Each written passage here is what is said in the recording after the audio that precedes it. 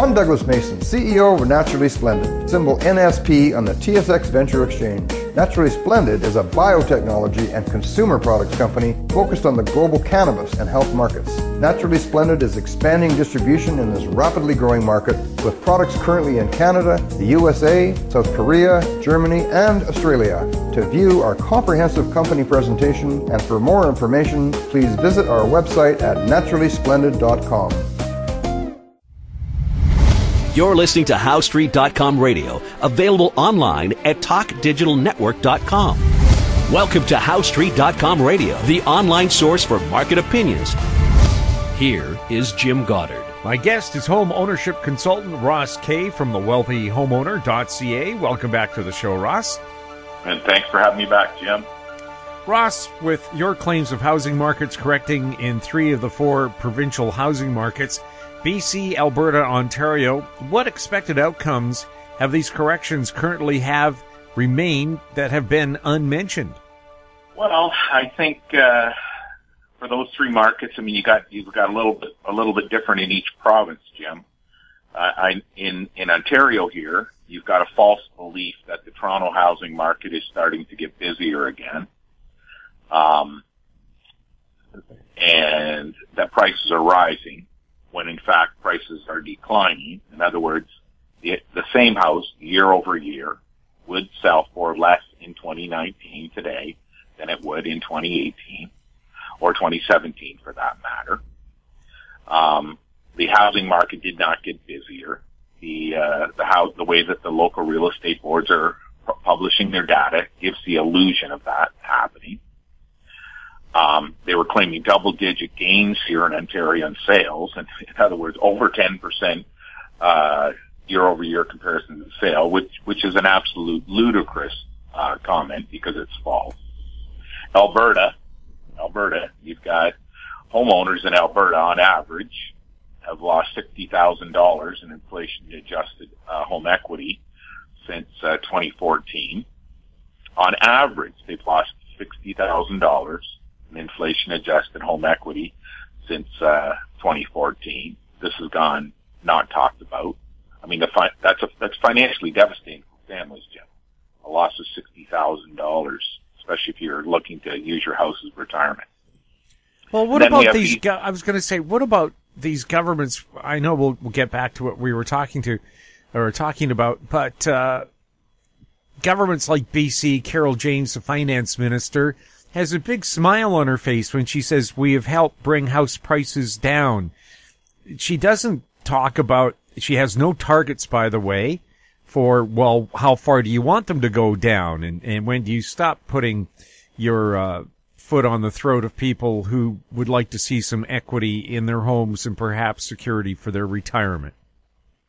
I mean, that's an excellent point, and, and let's, let's just go right to BC right now because, because you brought it up. I mean, there's no question. You have to understand. Uh, for some reason, I believe Ms. James does not think about this.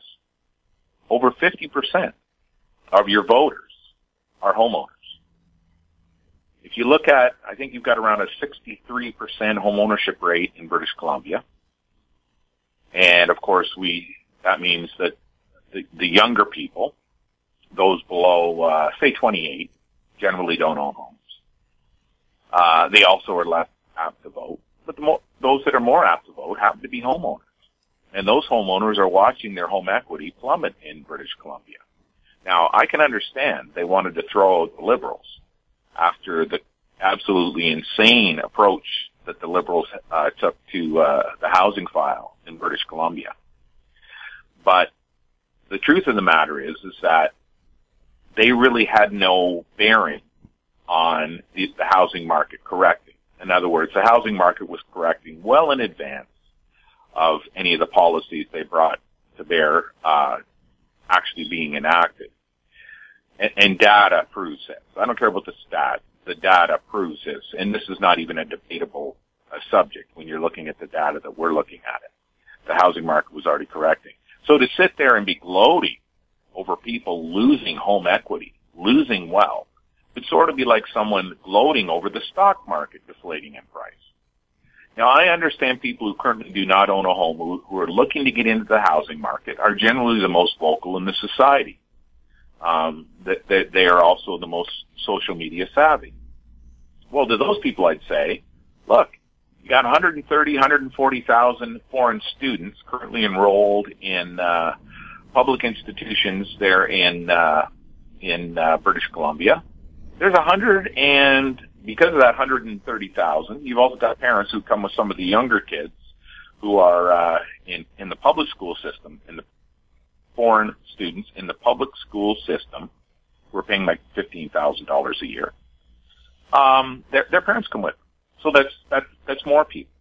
I'm estimating you've got somewhere in the neighborhood of 210 to 220,000 bedrooms currently occupied in uh, in British Columbia by by foreigners, people who don't live here, people who don't pay taxes here. You haven't heard a single university, Andy Yan, da- Davidoff, all these guys, uh, uh, Gordon. Wh- where are they speaking up about the foreign students taking away homes from Canadian kids? Where is Generation Squeeze? Paul Kershaw, where is he speaking up? It doesn't even appear on his website. How come? Well, it's because they're generating revenues, their jobs, from foreign students. So they don't want to look at the most, the biggest cause of the problem you have there, which is foreign students occupying bedrooms that should be occupied by Canadians. Now, there would be nothing wrong with Simon Fraser or UBC building ahead of bringing new students in residential buildings for those students for those students to live in the entirety of the time that they're in Canada. But of course, the, the universities can't afford that. So instead, they put that weight to bear on the population at large, and then they remain silent about it. Well, guess what, Jim? We're seeing some consequences take place right now. If you look at the heat maps of housing prices, assessment value in uh, Vancouver, you're going to see now there is a substantial number of homes previously worth over $3 million are now worth less than $3 million. That means the number of homeowners paying the school, edu- the school educa- education tax on homes over $3 million is decreasing. The value of the homes over $3 million is also decreasing. So the, the, the, the planned income through that policy, which was false, a bad policy on the day it was launched, are decreasing. It isn't doing anyone any good. It isn't solving any problems. It's creating more problems because this is the next problem that's going to happen. And it's going to arrive when you get your July 2019 assessments for the Greater Vancouver area. What you're going to see is because of the un the historic decline in values of single detached homes in uh, in Vancouver itself, the owners of condominiums in Vancouver, their property taxes are going to go up, while the owners of the single detached homes are going to see their property taxes slashed. That means the foreign owners who own single detached homes in Calgary or in, in Vancouver are going to be paying less municipal property tax. If their houses moved from 3.1 million to 2.9 or 2.6 or 2.4 million, they are no longer going to pay the 3% surcharge for the education tax. That is going to have to be made up by taxpayers as well. So the young millennials, I mean, this, this, this is where, of, of all the provincial housing markets, BC is the most messed up, Jim. Because in 2017, the Liberal government incentivized young millennial families, young families, first-time buyers, to enter the housing market with that $37,000 first-time buyer loan.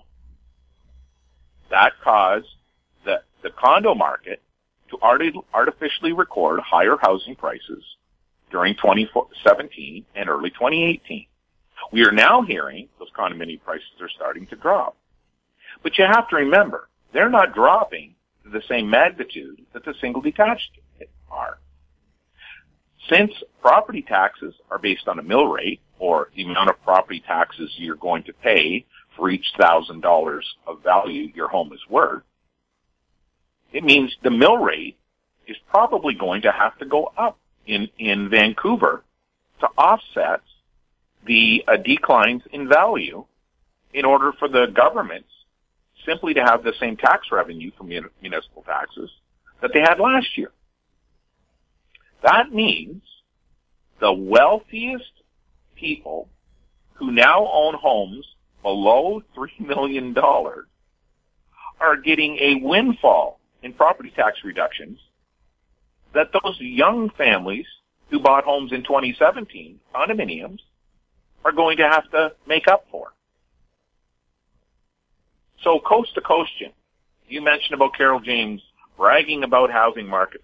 I do not believe, Jim, anywhere in the world, politicians have bragged about housing price, them establishing a policy that caused the value of homes owned by homeowners to decline, except in British Columbia.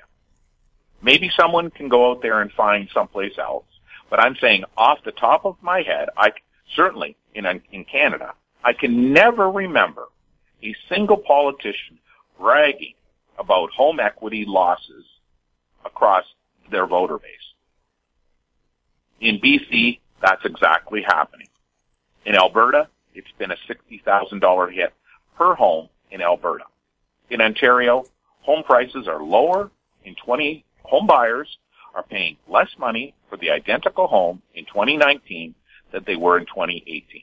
In other words, those home values have dropped. What you don't hear in Alberta, Ontario, are governments lauding house price declines.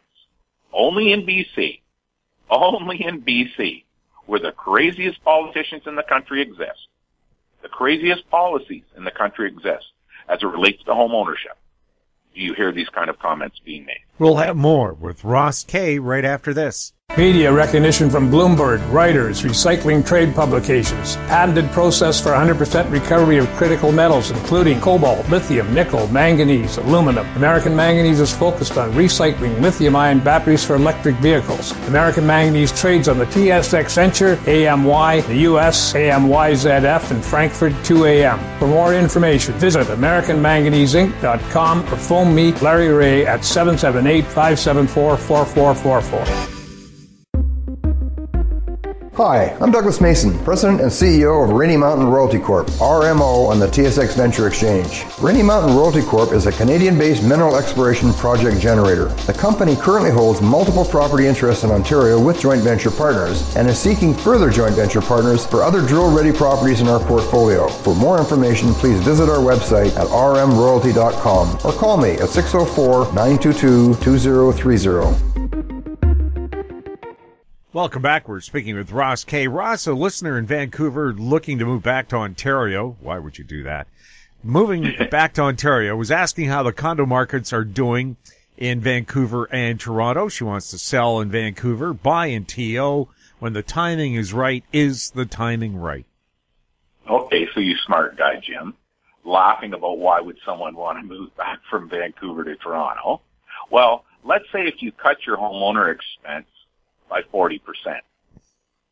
Let's say you're able to transfer back and take a 10% wage decrease, but you're able to slash your home ownership expense by 40%.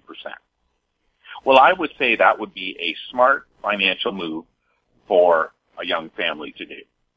That said, you're not going to be living in Vancouver anymore. Uh, you're not going to have that quality of life. You're going to have to seek out a different quality of life here in Ontario for those people. Forget about golf. Be, I was going to say, forget about golfing in January.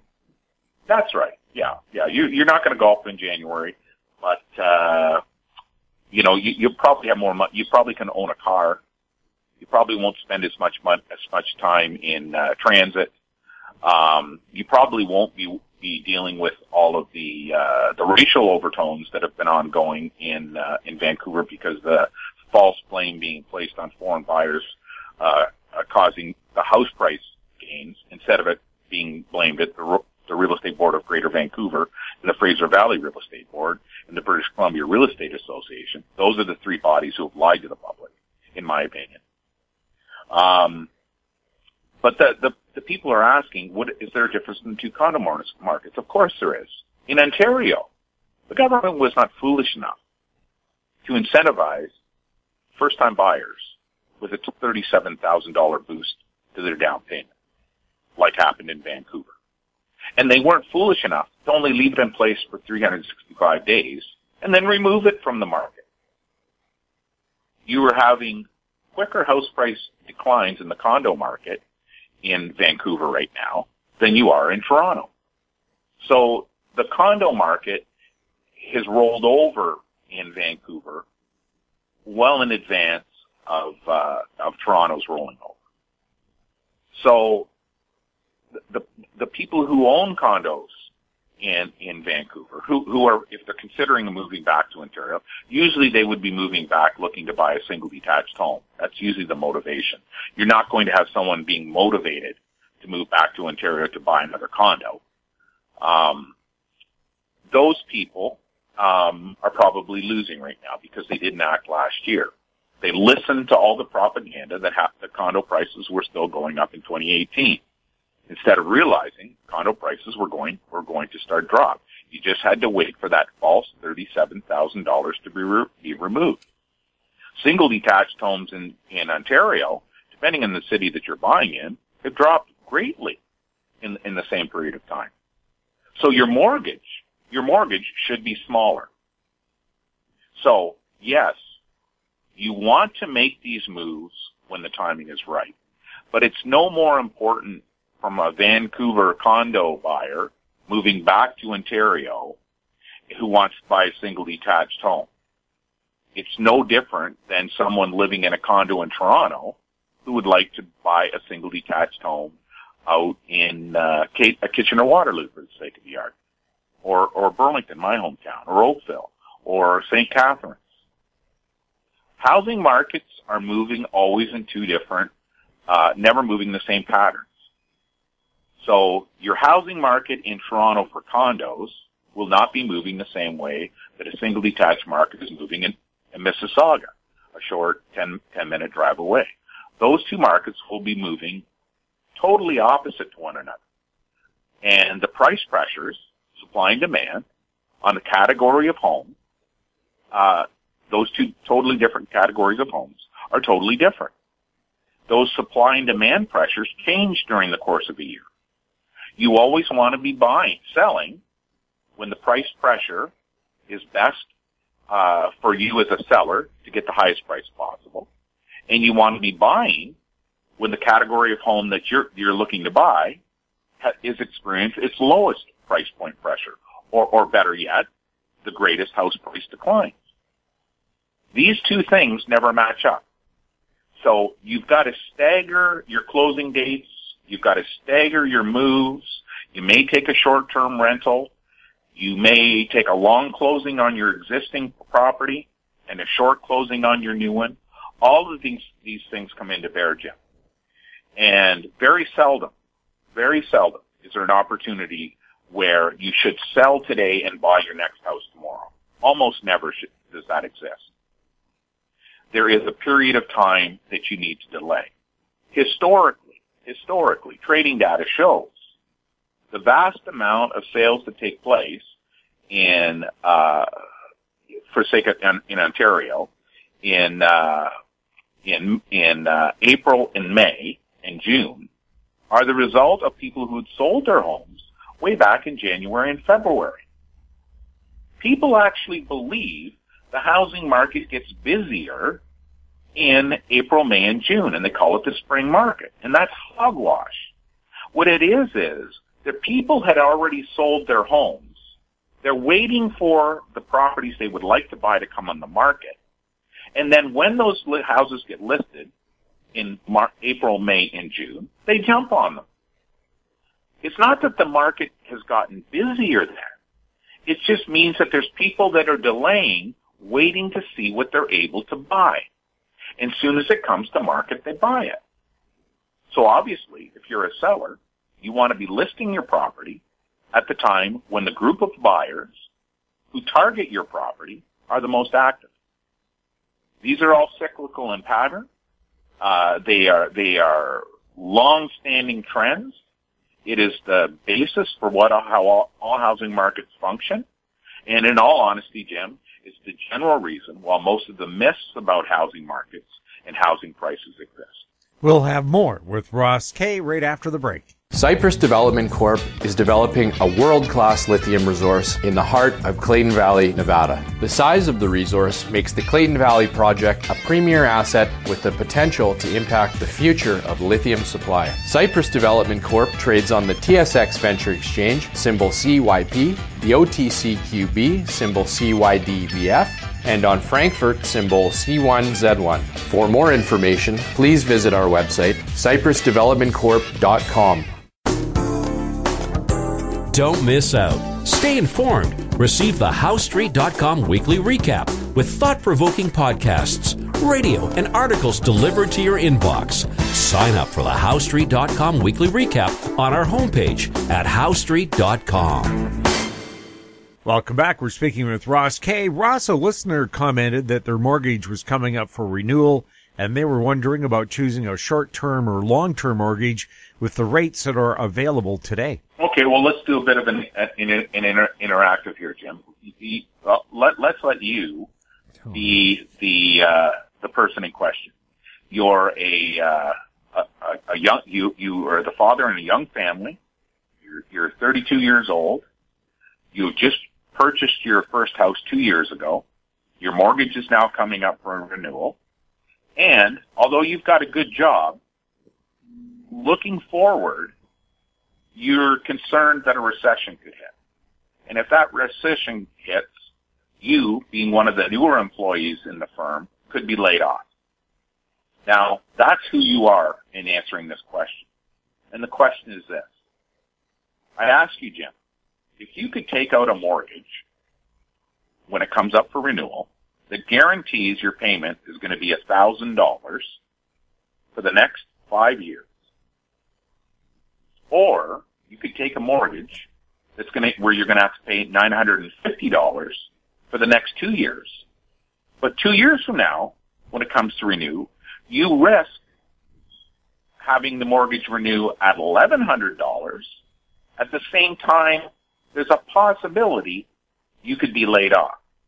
And if that's the case, the bank may decide not to renew your mortgage. Would you prefer to take the five year term? Of course would you, would. Gamble I would take the, the five year. Sure you would. And why you you did that for what reason, Jim? Well, what is they, the primary reason you decided? In case you lost your job, they're not going to uh, pull your mortgage on you. Right. You want to eliminate the risk. So when we look at mortgage terms, the answer to this question is very simple. The longer the mortgage term you take, you are assuming a, a, a, the lender is assuming a higher degree of risk. Now, what I can tell your listeners is, is that mortgage data for the last 50 years allows us to calculate with a pretty high accuracy what, what your mortgage uh, expense is going to be over a 5, 10, or even a 25 year window. So, so the data is available to come up with those numbers. But what I will also tell you is, is how you should look at a long-term mortgage as insurance. You should look at the difference in the, in the payment that you're going to make and the, the, the possible interest rate, interest that you would save over the length of the term, whether it's, whether it's three, five, or ten years, or seven or ten years. What I would tell your listeners is this. If you were in a home, the average Canadian stays in their home over 12 years before they move. So don't believe all of the myths out there about how people move every five years or people move every seven years. Over the last 50 years, including this last period we've had, the average homeowner will live in their home over 12 years. So that means a 10 year mortgage for the average homeowner is going to be okay. Now, if something happens that you need to uh, get out of that mortgage early, there's many ways to get out of them. there's a penalty associated with it, which we call insurance. I'm, I'm talking about the wealthy homeowner. This discussion about short-term mortgages or long-term mortgages simply ask, should be asked instead, how much insurance are you willing to pay to eliminate risk? And when you do the calculation of the short term and then the risk when it comes to renew uh, later, or you take a long term where there is no risk at the at uh, renewal for the length of term of the mortgage, the difference in cost is simply the insurance payment that you're going to make. And I can tell your listeners this. After dealing with thousands of families over decades of them owning their homes, I have never had a family ever regret taking a long-term mortgage. I have had thousands of families regret taking short-term mortgages. The reason why the long-term mortgage never is bothered by it is because it was a security. They can frame their entire financial life around that mortgage. They have a certainty of life based around that mortgage. Before they borrow more money, they know that for the length of the term, their mortgage debt, their mortgage payment is not going to change. They can look at their property tax and they can figure that expense more readily on a long-term mortgage. That isn't to say that I'm recommending long-term mortgages. There are many, many, many, again, would have been thousands of times over the course of mortgage renewals that my, my clients that I'd worked with, where I would have said, you're ideal to take a short-term, short-term mortgage. Usually those short terms though were six months. And then at the six months, you, you always t- had a mortgage broker who carried a mortgage a, uh, pre-approval for you somewhere else that was locked in. Now, that takes a lot of work. You're not going, I know many people have done it, but it's not common. You need a mortgage broker to do that for you. The mortgage broker you should be paying separate from arranging the mortgage. You should be paying them for mortgage arranging services because you want them to tell you what they believe is going to be the best time for you to renew. You want them to be watching the market for you because they should be experts. The person that you're hiring as a mortgage broker should be an expert. They should be looking at mortgage data. They should be looking at the Canadian bank's bottom lines. They should know which bank you're currently dealing with because the bank, the, the interest rate profile for that bank going for the next uh, two or three years will be totally different than another bank. They should be looking at um, interest rates in the states. They should be looking at bond rates. They should be looking at unemployment rates.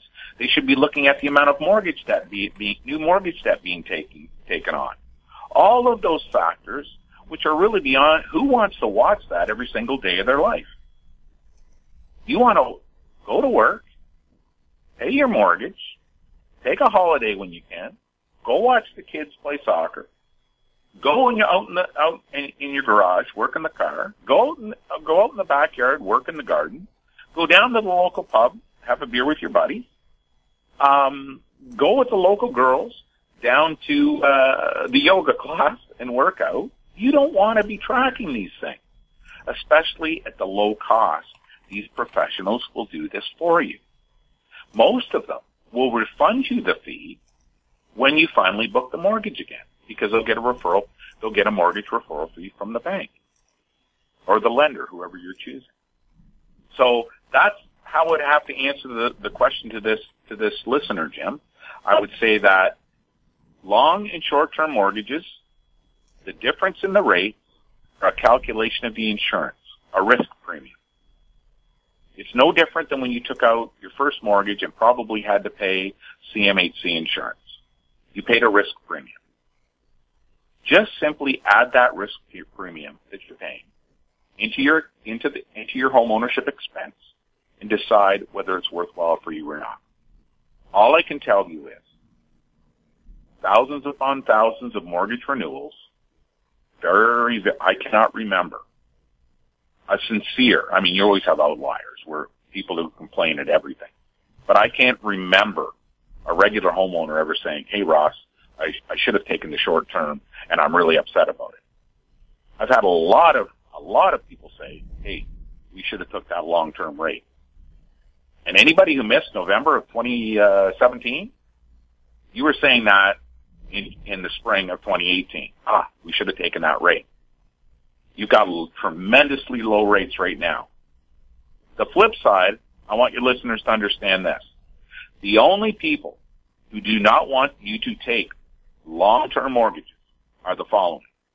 Number one, mortgage brokers. Number two, realtors. Number three, the banks. Those three stakeholders do not want you to take longer term mortgages.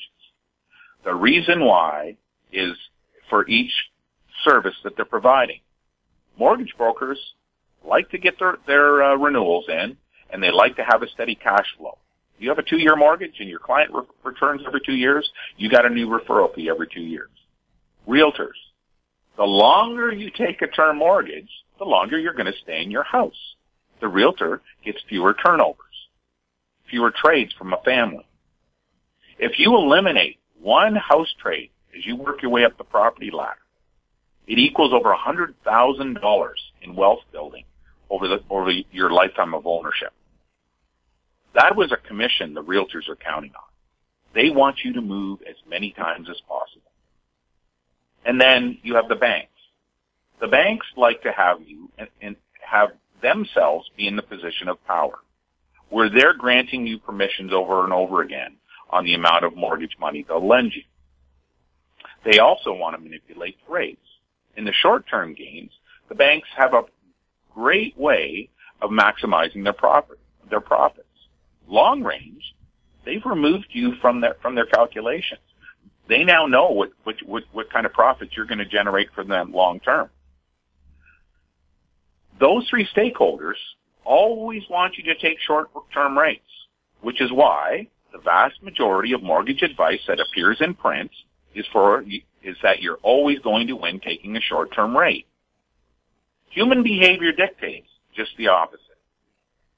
Your life often is going to be fuller because of the security and the stability you have in a re- reliable monthly house expense payment, which includes your mortgage interest. Ross, the listener wants to know what's the best deal a brand new home or a resale right now?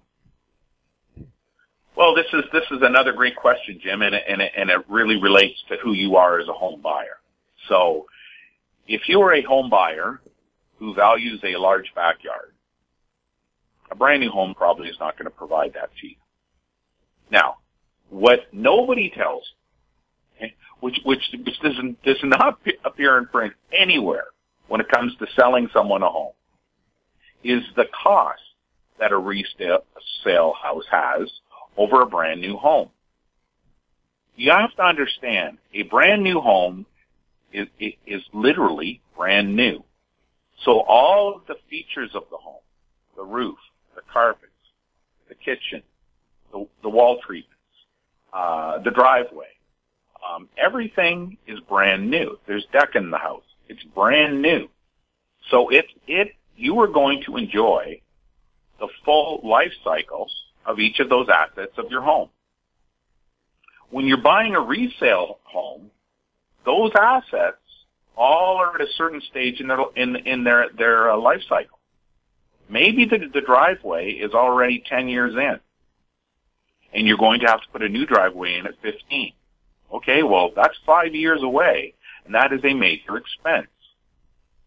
Maybe your roof of the house that you're buying looks absolutely stunning. They put 25, 30 year shingles on. But you find out that roof is 12 years old. It has already gone through over half because the, the way that they do the uh, shingle warranties are, are people replace them. People replace the roofs before they need to be replaced because they get what home buyers say is ugly. Maybe you've got a roof that's already 50% gone. 50% of its value is, is gone. The, your, your, if you're buying a house that is 20 to 25 years old, odds are it has not had a major renovation. Right at the time where the old color schemes, uh, fixtures, uh, uh, trim, um, those items are no longer um, what today's homebuyer wants. So they all need to be replaced. This one is easy for anybody who remembers dusty rose carpets or uh, teal green uh, wallpaper or uh, laminate uh, formica countertops, and cupboards, cupboard doors, laminate formica. Um, those things all quickly went away 10, 15 years later, and people spent tens of thousands of dollars in their kitchens renovating them. Ceramic, hardwood, carpet, all need to be replaced. So the simple answer is a brand new home is going to cost you less over your first 15 years of ownership than a resale home does. Your resale home is going to cost you more. And what realtors don't want to have you do, and what the banks don't want to have you do, and what the, the any real estate stakeholder doesn't want to have you do, is sit down and calculate what your budget is going to be over the next 15 years, the first 15 years of ownership of your home. And if you don't do that, if you buy a home without going through the first 15 years of ownership expense, and this includes condos, folks, then you're making a huge mistake. It's why when people tell us they're going on realtor.ca and look at listings, well, realtor.ca never lays out the ownership expense that those properties are forecasted to have. We have some pretty sophisticated software, which is primarily uh, was designed for the property management field, and we have altered all the variables, all the all of the uh, all of the factors that we apply against each of the items and we're able to come up with, with a cost for, for virtually any property. Your brand new home is probably other than personal choice, i.e. we want to put a fence in, we want to put a garden in, we want to put a better, de- bigger deck in, we want to uh, paint the walls. Your brand new home is not going to force you to have an expense. You may have some costs because you want to do it, but there's going to be no expenses probably. The resale home, depending on which home you're buying, can have ownership expenses over the next 15 years that can cripple you financially. They can wipe you out. It can force you to sell the home and move on. It could force you to walk away from home equity, lose home equity. That's the reality of buying a home. You need to look at your 15 year forecasted housing expense and decide whether or not that is a viable choice for you to make. Ross, thank you so much for chatting with us. Thanks for having me on, Jim. My guest has been home ownership consultant Ross Kay from the wealthyhomeowner.ca. If you have any questions for Ross or any of our other guests, you can send them to info at howestreet.com. Find us on Twitter at HoweStreet, our YouTube channel, Talk Digital Network. I'm Jim Goddard. Thank you for listening. Comments made on HoweStreet.com radio are an expression of opinion only and should not be construed in any matter whatsoever as recommendations to buy or sell any financial instrument at any time. Available online at TalkDigitalNetwork.com. HoweStreet.com radio is a production of HoweStreet Media Incorporated.